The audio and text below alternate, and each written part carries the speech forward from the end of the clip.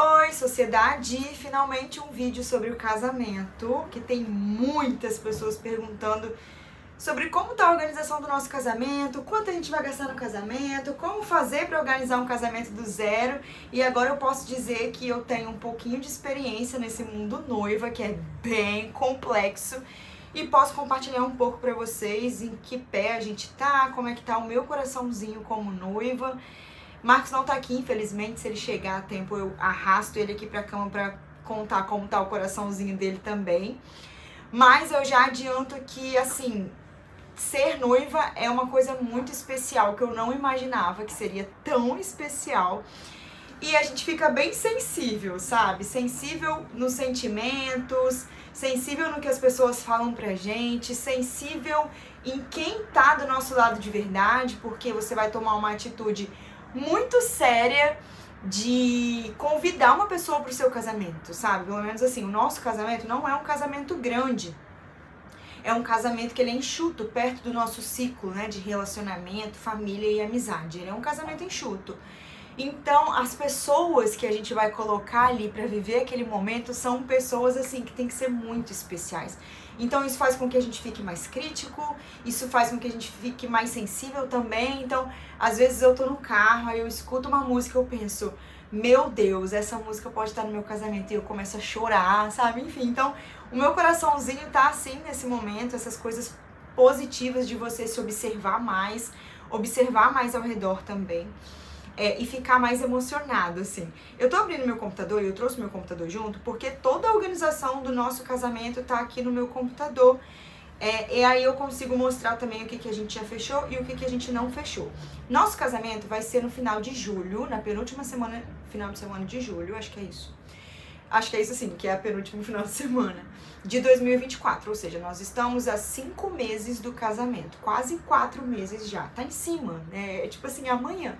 Para quem tá no Instagram, tem a primeira websérie com alguns detalhes, a decisão do meu vestido. Essa semana vai sair o segundo episódio com detalhes do Save the Date, outras coisas que já estão adiantadas. Então, vai lá pro meu Instagram também, que é @leticiasecato, se você já não veio de lá, né? Se você veio de lá, me conta aqui nos comentários, porque eu linkei esse vídeo lá também.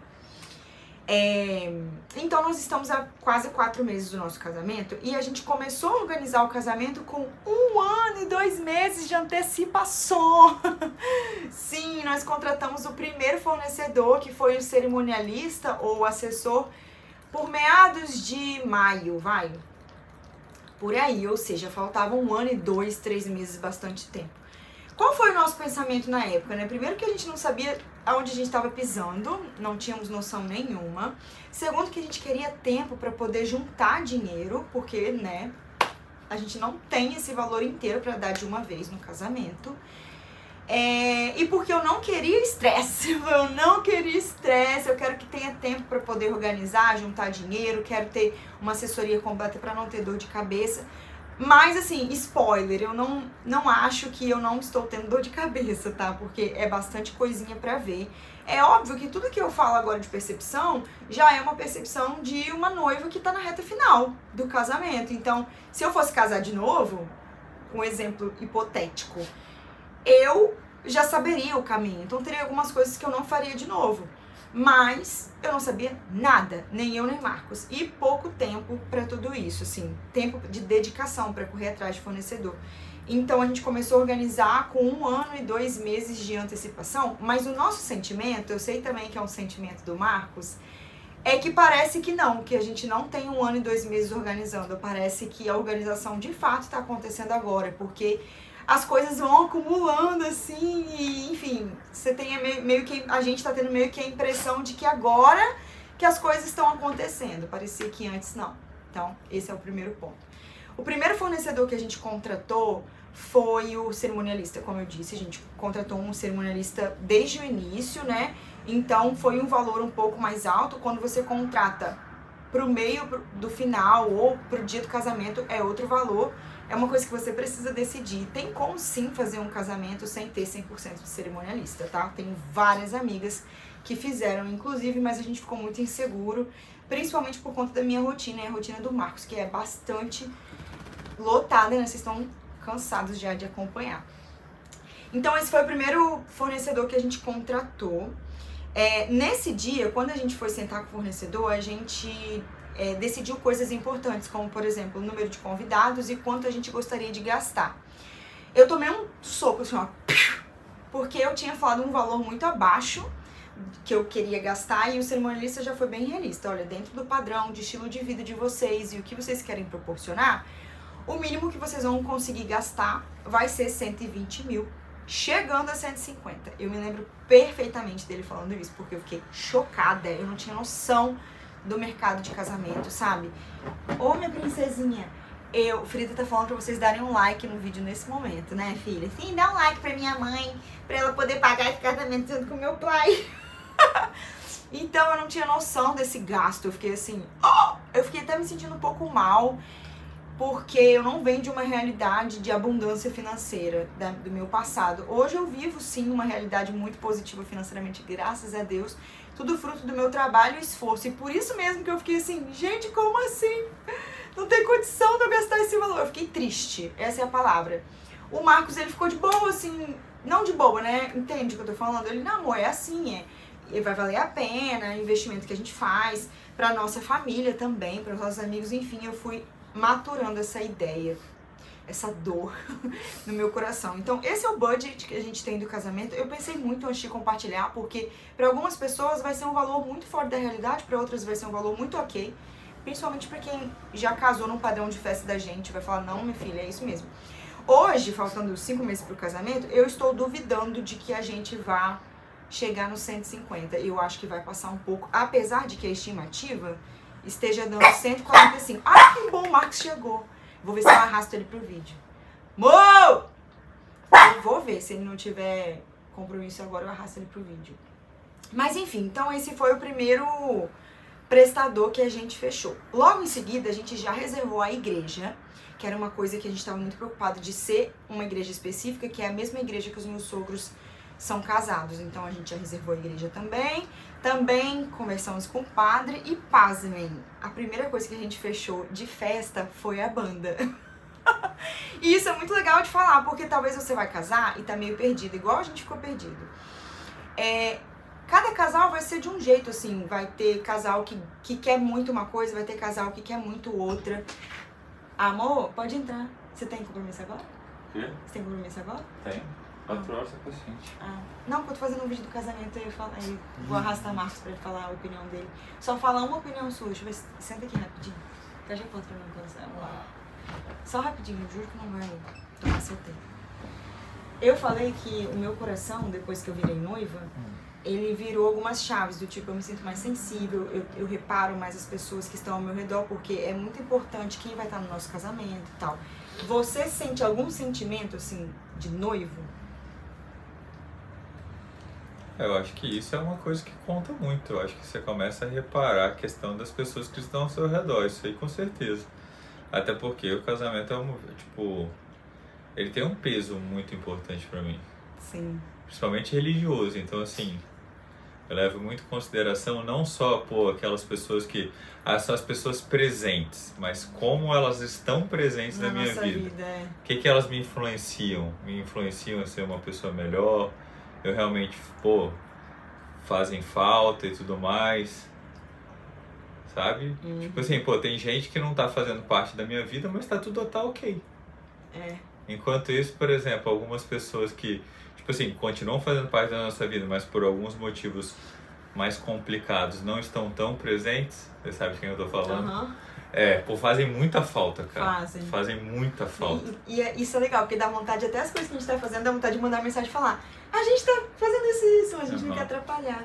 Mas o que, que você sentiu que você lembra, assim? Você se sente sensível? Eu tava falando que às vezes eu escuto uma música, assim, religiosa, uma música mais.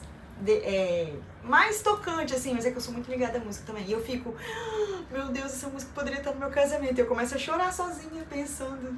Não, Você acho não que tem? não nisso. Acho que é mais na hora que eu tô rezando. Uma coisa que vem muito na minha cabeça. Mais música, assim. não. Música não, né? Tá vendo como cada um é diferente? Tá liberado, meu amor. Enfim, então nosso prime... a primeira coisa que a gente fechou foi cerimonialista, depois igreja, padre e banda. Aí o que eu tava falando. Leva neném.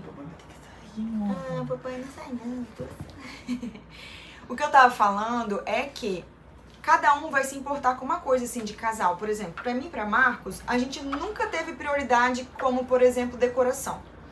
Decoração nunca foi nossa prioridade do tipo, nossa, a gente quer fechar com a fulana de tal, que é o nome daquele Espírito Santo. Eu sou de Vitória, Espírito Santo, se você não sabe. Marcos também. Não, a gente não tinha isso, mas a gente tinha isso com o cantor. Então a gente queria uma atração que fosse a melhor atração do Espírito Santo, por exemplo, no nosso ponto de vista, né? Claro. Então a gente colocou um investimento na atração principal, que teve uma amiga minha que falou assim: "Quê? E você quer gastar X com decoração, sendo que você gastou X com cantor?" Eu falei: "Sim". Porque pra mim importa muito mais, mas eu não tô certa nem errada, nem ela tá certa nem errada. Então, você tem que fazer uma lista, você e seu noivo, né? Das prioridades que vocês enxergam que vale a pena o investimento. Porque no mercado de casamento, o céu é o infinito, literalmente, assim. Céu é o limite, aliás, né? Literalmente, porque você vai achar coisa que custa de zero a um milhão em todas as categorias, praticamente.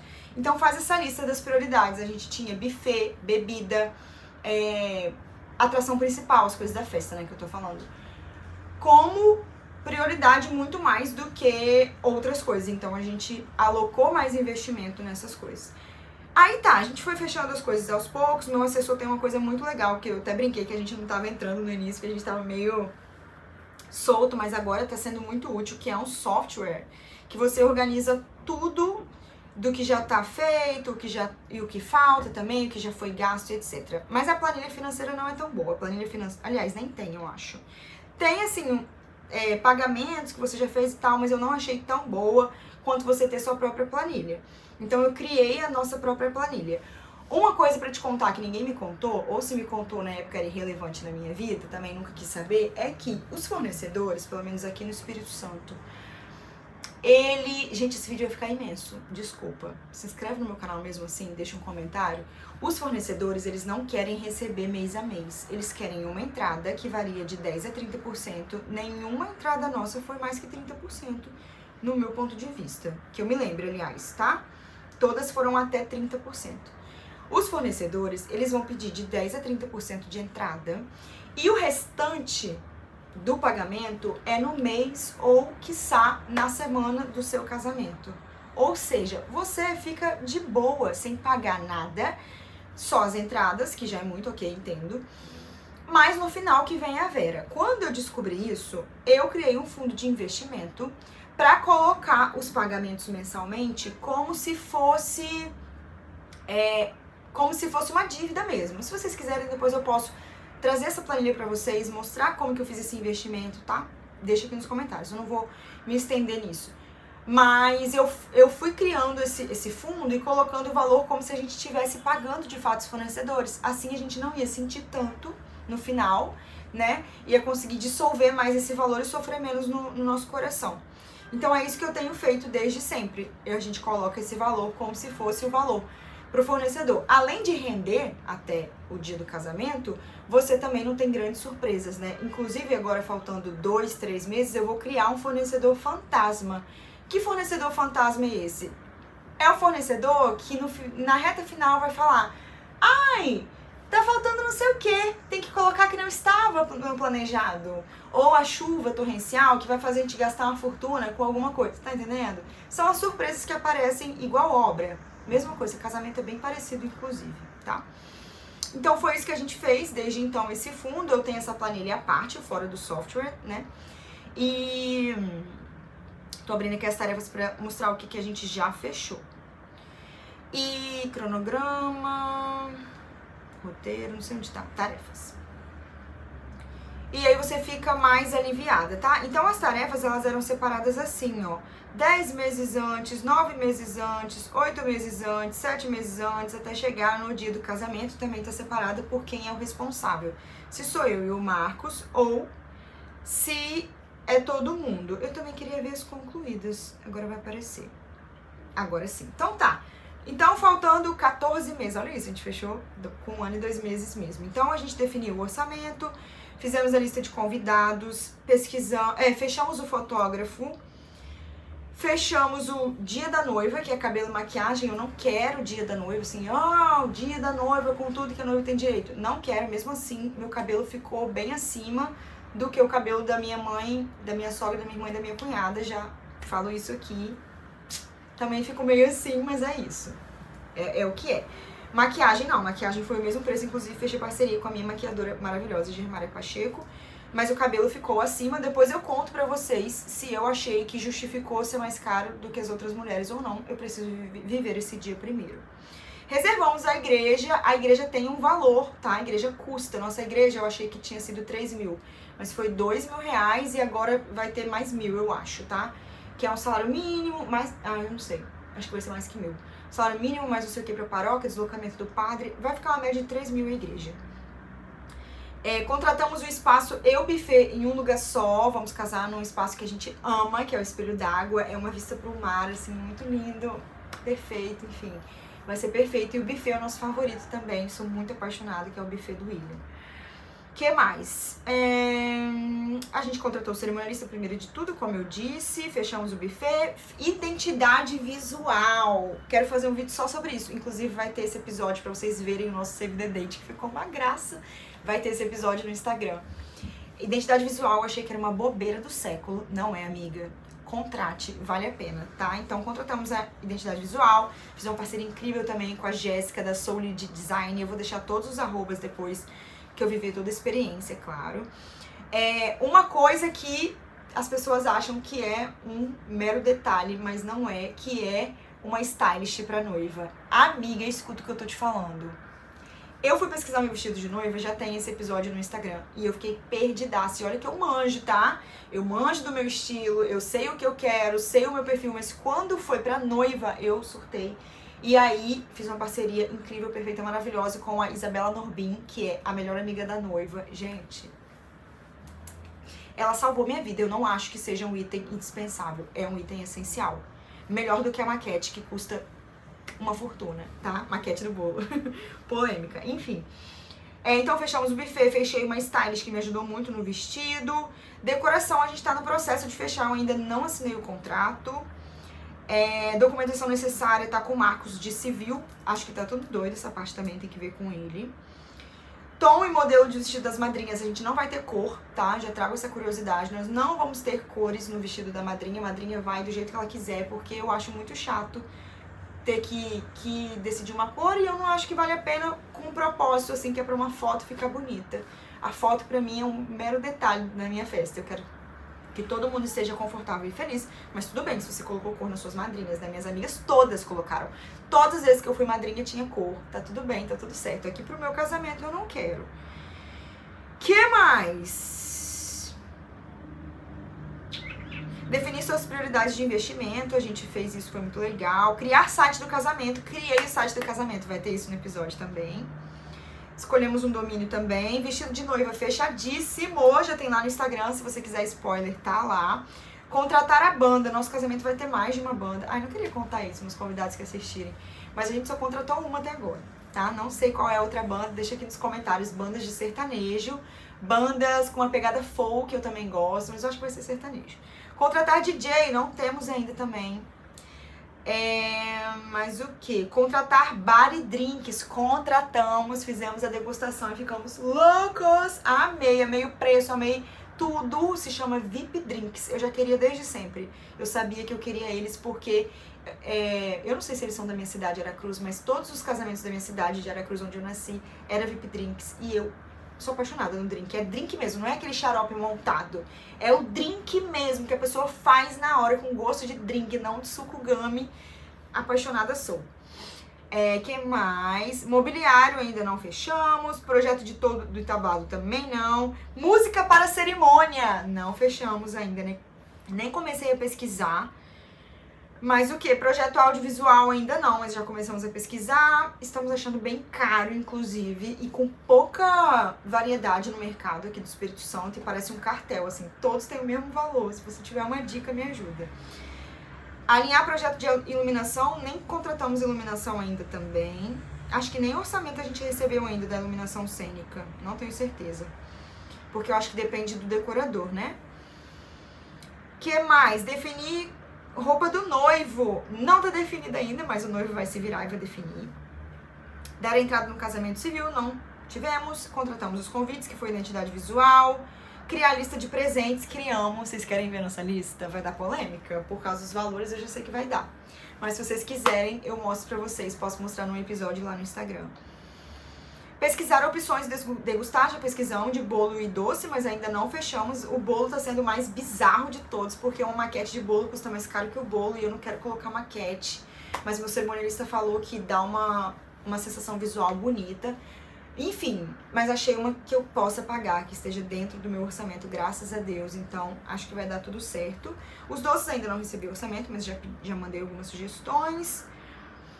Eu acho que é isso, gente. Lembranças para os convidados, nada ainda. Convite padrinho e madrinha.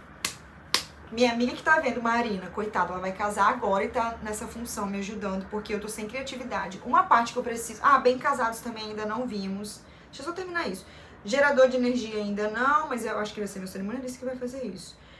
Chinelo ainda não. É, curso dos noivos ainda não. Carro da noiva, eu nem sei que carro é esse. Enfim, gente, é isso que falta e é isso que já tá fechado também. Essa parte que já tá fechada. Tem muita coisa ainda pra organizar. Por isso que eu tô falando, a impressão que a gente tem é que começou agora, que não tem um ano e dois meses. É, uma coisa que eu tenho que ser muito sincera, assim. Falando assim, parece que é tudo bem romântico, que tá, tá, tá sendo super prazeroso e tal. E a realidade é que não tá. Assim, não pra mim, tá? Também não vou, não vou me estender, assim, mas é um mercado que boa parte é corrompida, bastante parte é corrompida. Graças a Deus, assim, eu, eu acredito. Ah, a filmagem eu já fechei. O Arley, o nome. O Arley, não sei. Depois eu, eu vou linkar as pessoas. Os parceiros também, né? Óbvio.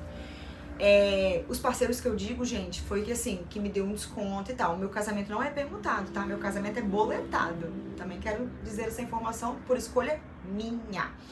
Mas tiveram grandes parceiros, pessoas que valorizaram o meu trabalho, me deram super desconto que eu vou fazer questão, claro, se a experiência for boa, de contar um a um. É, o que, que, eu ia falar? Ah, tá, essa frustração. Tem boa parte desse mercado é bem corrompido, é bem superfaturado, assim dá pra ver, dá pra sentir. É, se você quiser ter esse feeling mesmo, pesquise, pesquise bastante, assim, com outras noivas que já casaram, principalmente. Eu tô percebendo isso, assim, que quando eu me abro para amigas que já casaram, elas falam, Letícia, não cai nesse papo. Juro, é desse jeito. Porque tem bastante coisa super, super valorizada. Eu sei que a gente não deve precificar trabalho de ninguém. Eu sou prestadora de serviço, sou influenciadora. O meu preço ele é acima do mercado aqui do Espírito Santo, mas ele é 100% justificável e eu consigo te provar o porquê que o meu preço é acima da média do mercado do Espírito Santo. A gente está falando de fornecedores que não têm justificativa e nem fazem questão de te justificar. É simplesmente porque você é noiva. É simplesmente porque casamento é um sonho. Então, assim, eu, casamento nunca foi o meu sonho. Isso é um fato. Então, eu consigo racionalizar muito a minha cerimônia, a minha festa, ao ponto de enxergar esse outro lado também de todo esse movimento. Tem muita gente boa, mas tem muita gente corrompida no mercado. Tenha muito cuidado, não é tão romântico quanto parece, pelo menos para mim não está sendo.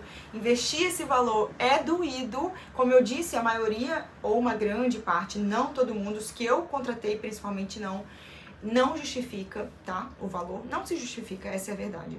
É, minha amiga tava falando assim, tem muita coisa que tá escrito na nossa testa, trouxa, que a gente tem que fazer por ser noiva, mas tem muita coisa que não. E é verdade. Então eu tenho é, tido muita ansiedade nesse processo.